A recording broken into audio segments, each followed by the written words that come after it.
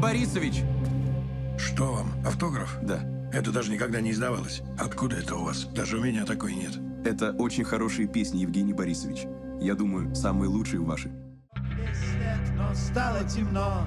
Я десять Вы давно занимаетесь музыкой? Всегда. У меня есть две любимые группы. T-Rex и Rolling Stones. Среди всех нас ты единственный и первый. Тебе надо активизироваться. Сейчас активизируюсь. Что если мы у тебя альбом запишем?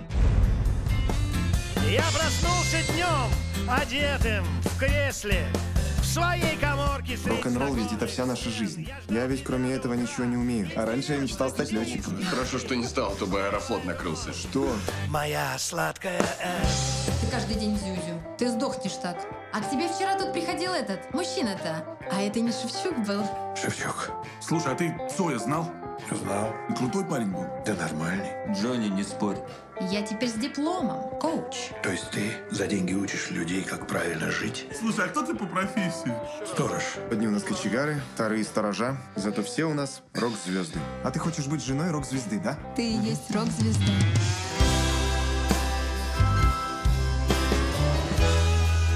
В песнях можно фантазировать. Нельзя врать. Возьмите, пожалуйста. Я беломор курю. В СССР рок-музыка не приветствуется. Сказали, чтобы никаких острых песен. Да как рок без секса? Весь рок про секс. Это ты весь про секс.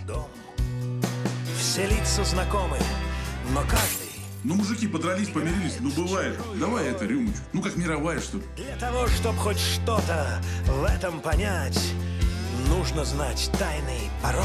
Будешь звездой панк-рока. Я приглашаю вас побродить вечерок средь площадей, домов и Ты стен. в Питере живешь и не ходишь никуда. Да я уже был везде. Сто раз услышать. Вот он! Уездный город Тен! Что тут такого антисоветского? Там же рок-н-ролл. Он сам по себе антисоветский. Ты тоже антисоветский? Я это я.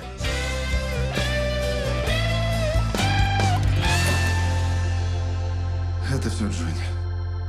Это рок-н-ролл. Это не рок-н-ролл. Это зоопарк какой-то.